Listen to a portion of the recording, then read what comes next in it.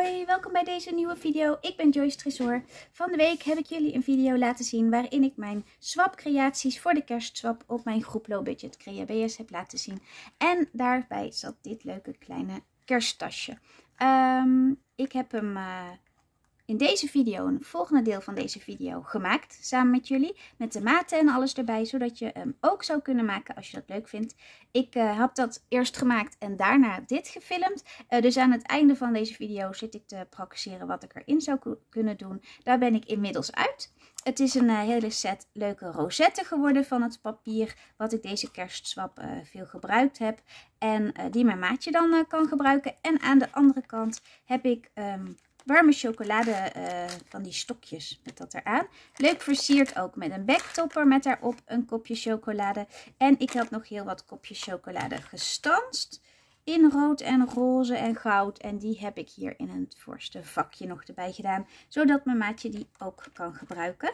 Um, verder heb ik hem uh, ja, versierd eigenlijk met wat veel teruggekomen is in de, in de swap de rolbloemetjes, uh, wat gouden takjes en hier een leuke kerstsok sticker, zo'n foam sticker is dat. Aan deze kant hadden ze, uh, had ik nog een leuke uh, wasbeer sticker, ook een rolbloemetje en een gouden takje. En hier bovenop zo'n lekkere grote strik. Dus ook als het tasje eh, leeg is, als ze alles gebruikt heeft, kan ze er nog iets anders leuks in doen en ziet het er hartstikke vrolijk en gezellig uit. Ehm, ben je benieuwd hoe ik dit tasje gemaakt heb? Dan Blijf lekker hangen. Oh, wat ik nog vergeet. Ik heb hem ook in het groot gemaakt. Uh, de tasjes zijn geïnspireerd op een video van BBC uh, Crafts. Zo heet het uh, YouTube kanaal. is Amerikaans geloof ik. Um, en daar heb ik dit van af. Nou nee, niet van af. Die grote komt daar van af. En deze is daarop weer geïnspireerd. Dat wilde ik nog heel graag even zeggen. Um, ja, ben je benieuwd naar hoe je dit kunt maken? Blijf dan lekker kijken en uh, naar het volgende deel van deze video. Nou, dan gaan we aan de slag met de mini variant van de Kraft tas. Um, ik heb papier gekozen. Dit is er nog een restje wat ik had, of een restje, het laatste velletje uit zo'n soortgelijk blok van misschien wel twee jaar geleden, weet ik niet zeker. Um, en ik heb papier gekozen voor deze tas uit dit blok, uh, die roze met de kleine kerstboompjes. Um, wat ik gesneden heb zijn twee stukjes van 14 keer 14 voor de basis. En uh, daar gaan we mee beginnen om te rillen op... Uh, ja, heb ik dit nodig? Nee, heb ik niet nodig, want zover gaan we niet. Om te rillen op 3,5 centimeter. En op 7 centimeter op één kant van de 14 keer 14 en dan draai ik hem en daar rillen we op 3,5 centimeter en op 10,5 centimeter. Dat ga ik bij het andere stukje hetzelfde doen. Dus daar ook op 3,5 centimeter op één zijde en op 7 centimeter. En ik draai hem weer bij en dan op 3,5 en op 10,5.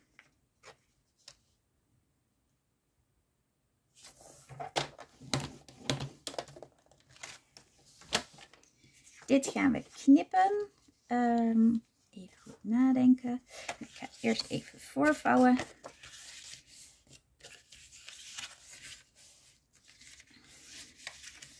Zo. En dan wordt het... Ja, ik weet het weer. we gaan uh, knippen. Hier heb je het grootste vakje en hier hebben we twee vierkantjes van 3,5 bij 3,5. Dat middelste vierkant gaan we losknippen. Dus ik knip langs de rillijn naar het kruispunt.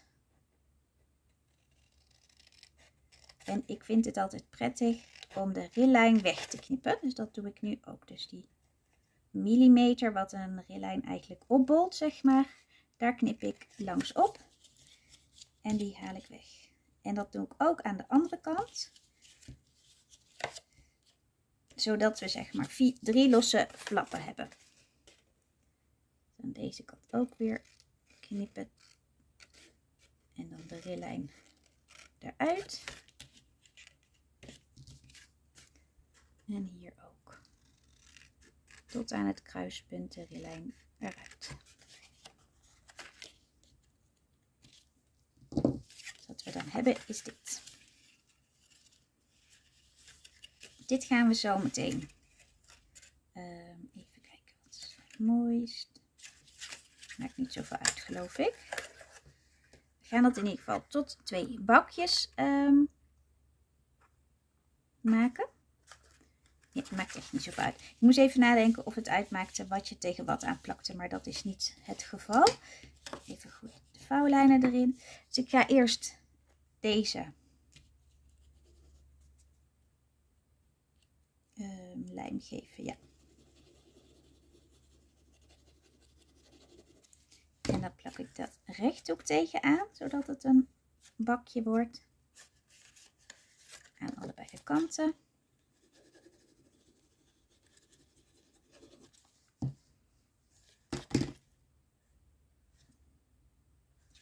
Um, nee, ik het. Is toch mooier om het andersom te doen. Even losmaken. Uh, dus eerst de korte kant er tegenaan. Zo. En deze ook. Dus de vierkanten eerst op elkaar. Zo. En deze, eigenlijk een beetje jammer dat hij hier nou een beetje lelijk is geworden. Maar die komen hier zo aan de binnenkant. Zodat de binnenkant glad is. Dus dat, dat was, um, er was iets mee, maar ik wist even niet meer wat. Dus we doen dan hier aan de binnenkant van het vierkant lijm. En dan komt de mooie kant. Dus hier krijgen we eigenlijk de bobbel.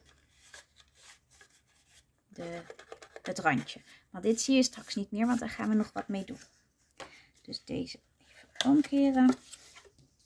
Hier aan de binnenkant de lijm op het vierkant. En dan deze daar tegenaan. Die mag even aan de kant en dan gaan we met de andere precies hetzelfde doen. Dus daar gaan we ook weer de rillijnen tussenuit kniepen.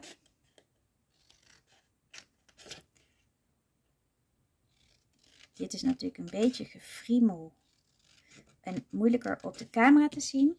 Um, er is natuurlijk de video van de grotere variant.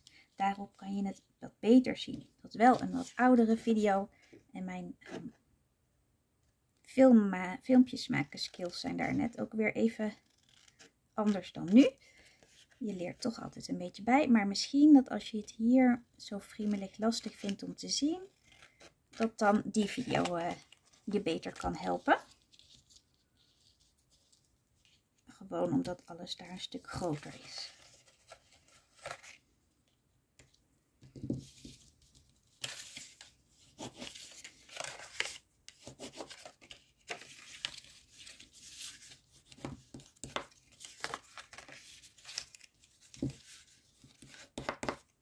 Zo. Dus we gaan deze vierkante buitenkant met lijm. Dan gaan de vierkantjes er tegenaan. En dan komt daarna aan de binnenkant van deze vierkanten die rechthoek er tegenaan om het tot een bakje te krijgen. Dit had ik even naar binnen moeten klappen voordat ik hem dicht maakte. ik zou het mezelf ook eens makkelijk maken. Hè? Hier weer aan de binnenkant een beetje lijm. En dan op deze manier. Nou, wat we nu gaan doen is even de speld in de lijm steken en de liniaal erbij pakken.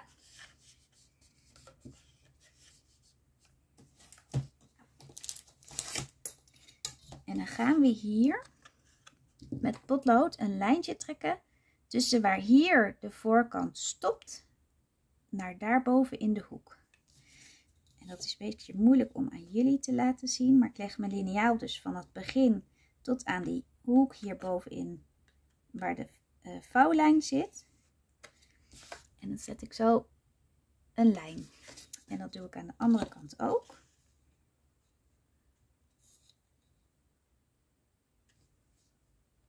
Dus vanaf de vouwlijn naar de hoek waar dat begint. En daar knip ik hem af.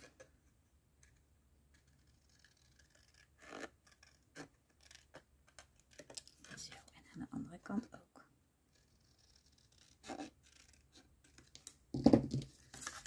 Dat doen we met die andere precies hetzelfde. Dus daar gaan we ook weer een lijntje trekken van de vouwlijn, de hoek van de vouwlijn naar voor waar het begint. En hier ook. En die knippen we ook weer af.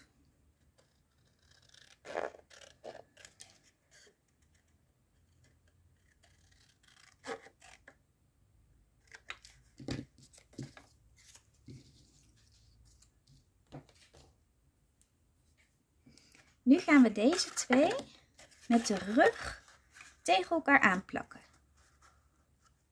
Zo, dat het eigenlijk een huisjesvorm krijgt aan de buitenkant. Dus daarvoor gaan we de ruggen, of in ieder geval eentje, weer wat lijm geven.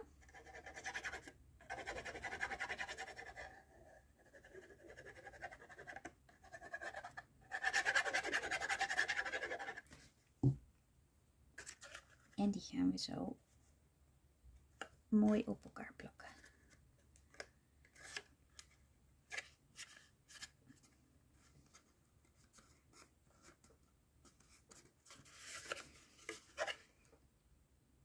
Nu ziet dat hier natuurlijk niet zo heel mooi uit. En daarvoor gaan we eerst even meten.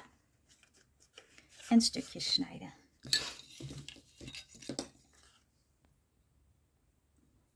Zou ongeveer 7 centimeter moeten zijn. Maar het kan dus afwijken. En dit is dus 7,1 centimeter geworden. In de breedte. En in de hoogte 7. Dus ik ga twee stukjes snijden van 7,1 breed keer 7 centimeter hoog. Om dat mooi af te werken. Um, even kijken wat ik voor papier daarvoor wil gebruiken. Want ik wil er nog pocketjes op gaan maken in deze kleur.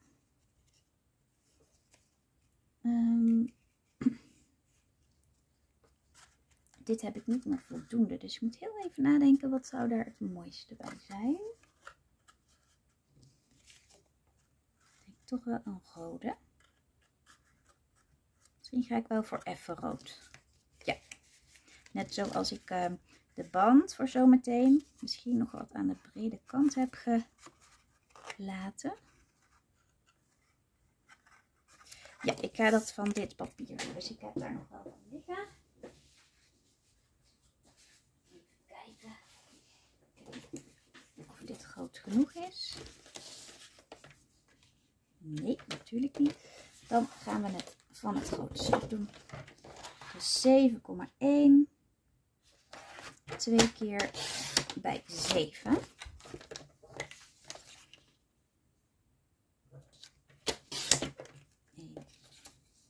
en 2. En die gaan we hier mooi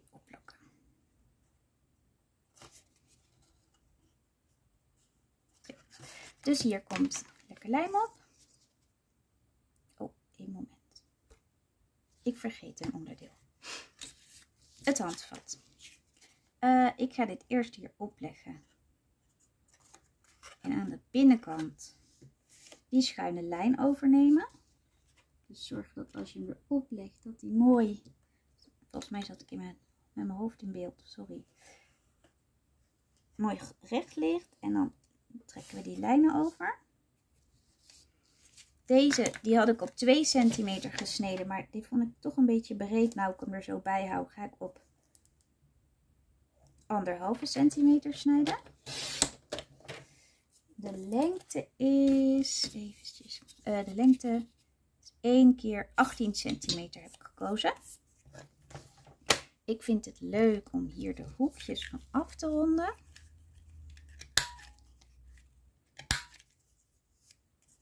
aan bij de kanten. Dus alle vier de hoekjes eigenlijk.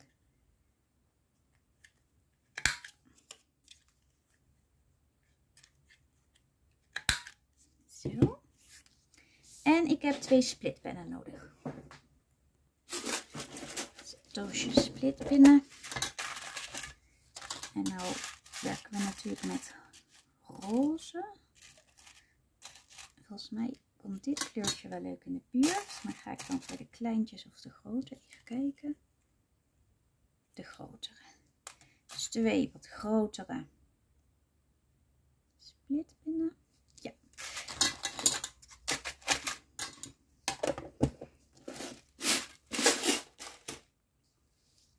En die moeten hier zo opkomen. Dus we gaan hier een gaatje in maken. Um, heb ik de kroppendaal vergeten klaar te leggen. ga ik even halen. De kroppendaal. En dan gaan we een gaatje maken in, de, in het handvat. Dus in die lange strook. Een beetje in het midden op ongeveer een centimeter van de rand. Ik ga hem eerst even een beetje vorm geven. En dat doe ik eigenlijk zoals je een cadeaulint kunt krullen. Dus even met de, hoe heet dat? Met het vouwbeen er langsop leg ik begin en einde op elkaar. Dan komen ze mooi op dezelfde hoogte. En dan even openmaken. Maak ik daar een mooi gaatje. Even kijken waar mijn potloodpunt is. Die spiek ik dan daar doorheen. Nou, dat is wel eens netter gelukt. Gelukkig zie je daar straks niks meer van. Zo. En dat komt dan ook in dat uh, driehoekje hierboven. Wat we nog niet geknipt hebben. Dus daar maak ik ook even een gaatje in.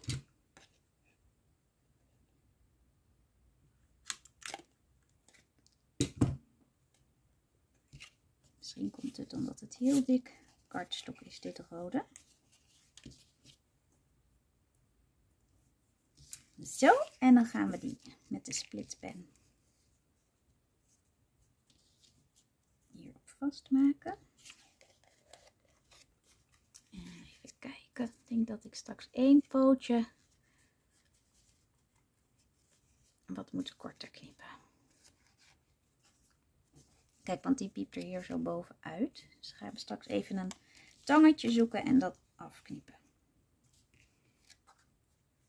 als ik het in de breedte doe, dus de, de zo open zou maken, dan moet ik dat aan twee kanten. Maar als ik hem zo naar boven en naar beneden doe, dan kan dat met één kant. Even zoeken waar ik mijn kniptangetje heb. Die gebruik ik niet zo vaak. Eén moment. Nou, ik heb dit kniptangetje gevonden. Even kijken of dat is eigenlijk voor uh, draad, maar zien dat het werkt. Oh ja, werkt perfect. Fijn. Het is die wat korter en deze ook. Zo kort dat hij niet meer boven dat um, papiertje uitsteekt. Zo. Mooi dichtmaken. En dan gaan we hem hier op die zijkant plakken. Ik heb hem nog niet weggeknipt, die lijm. Omdat als ik dat doe, als die hier zo tegenaan zit, ik het natuurlijk veel preciezer kan doen. Moet ik alleen opletten dat ik niet door mijn handvat knip. Maar daar gaan we natuurlijk gewoon goed op letten.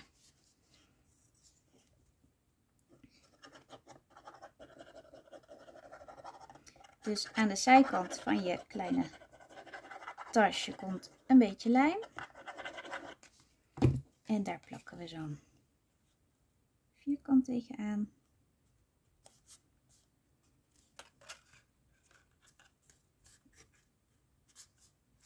En aan de andere kant de andere. Dan hebben we zo mooi het handvat eraan en hebben we de splitpen niet zichtbaar aan de binnenkant. Het is even wat gefriemel, maar ik vind het er wel echt mooier uitzien dan. Mooier afgewerkt.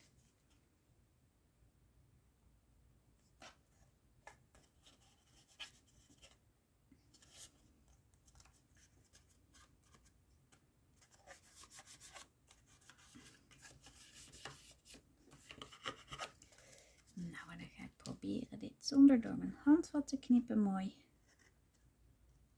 gelijk weg te halen.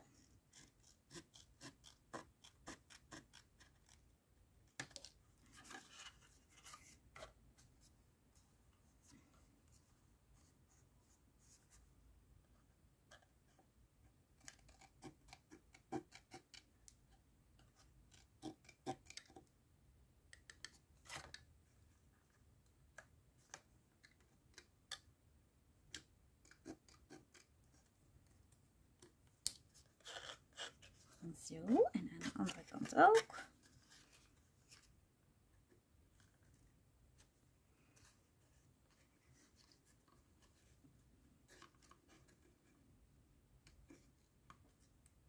Zit ik eronder? Ja.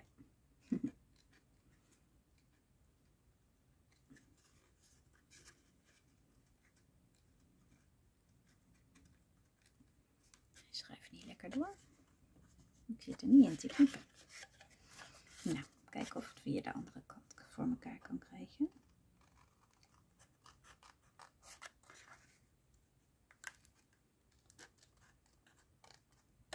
Yes. En dan aan de andere kant.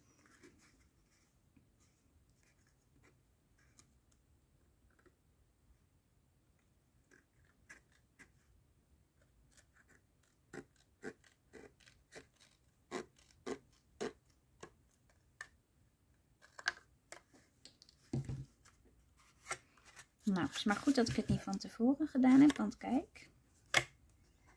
Even wat hoor. Een klein beetje. Hier zie je dus de potloodlijn. Als ik daar langs had geknipt, dan had ik hem nog niet mooi strak gehad. Dus ik ben blij dat ik het dat ik even zo heb gefriemeld. Potloodlijn weg. Die kant is het wel goed gegaan.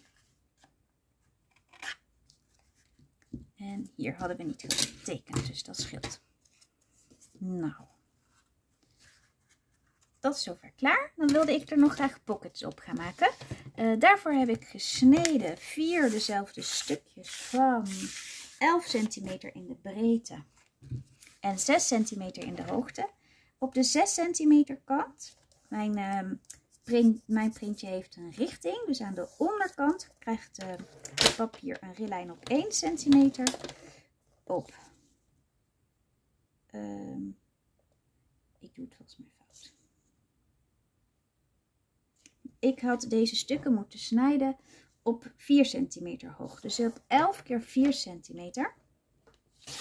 Dus die wordt even wat korter. En dan krijgt hij aan de onderkant een rillijn op 1 centimeter. Dat was het. En dan krijgt hij um, hier op 1, op 2 en op 3. En aan deze kant ook op 1, op 2 en op 3 centimeter. 1, 2 en 3. Halve slag draaien en weer op 1, 2 en 3. Dan ga ik hier de vierkantjes allemaal wegknippen.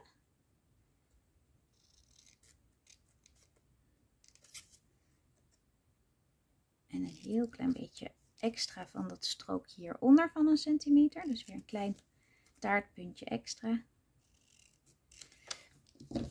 Die vouwen we naar binnen. En de zijkanten vouwen in zigzag naar binnen, naar buiten en weer naar binnen. Naar binnen, naar buiten en weer naar binnen. En dan ziet het er zo uit aan de bovenkant. Deze gaan we hier overheen plakken. Dus er komen kleine puntjes lijm als we ze hebben opgevouwen hier in de hoek. Aan beide kanten. Dus opvouwen en dan onder in de hoek een klein puntje lijm en dan deze hier overheen plakken. En dan hebben we een kleine harmonica pocket gemaakt. Die heel leuk past hieronder tegen de rand in het midden.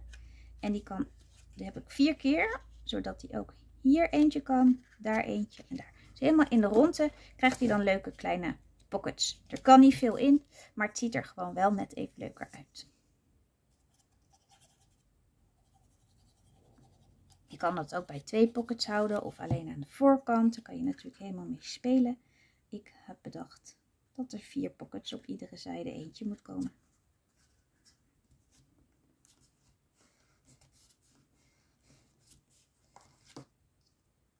Zo, kijk dan op je leuke afstaande pocket. Dan ga ik even bij de andere stukken ook doen. Dus die had ik te groot gesneden. Ga ik eventjes wat smaller snijden op 4 centimeter hoog keer 11 centimeter breed. En dan ga ik die ook allemaal op dezelfde manier rillen en vouwen en op mijn tasje plakken. En verder ehm, kan je hem natuurlijk versieren. Ik heb de binnenkant nu nog wit. Uh, ik denk dat ik het wel leuk vind om hier dan met designpapier uh, matten te plakken. Zeker ook omdat ik hier dat vieze lijmfoutje gemaakt had. Uh, maar ik vind dat witte ook minder passen bij wat ik allemaal verder gedaan heb. Dus dat is de reden. En, en, verder kan je hem natuurlijk nog een klein beetje versieren. En dan kan je hier leuke kleine cadeautjes in doen. Ik zit te denken aan misschien um, dingetjes als een, een, lijmflesje of nagellakjes of iets anders. Uh, leuk flesje van bijvoorbeeld de stickles of de Nuvo Drops, dat soort dingetjes. Kan je hier hartstikke leuk in cadeau geven. Dus dit is ook weer een van mijn swap cadeautjes voor de kerst. Ik hoop dat je mijn video weer leuk vindt. Laat het me weten onder in de reacties. Um, ben je nog geen abonnee op mijn kanaal? Druk dan op de abonneerknop als je het leuk vindt. En uh, dan zie ik je heel graag een volgende keer weer.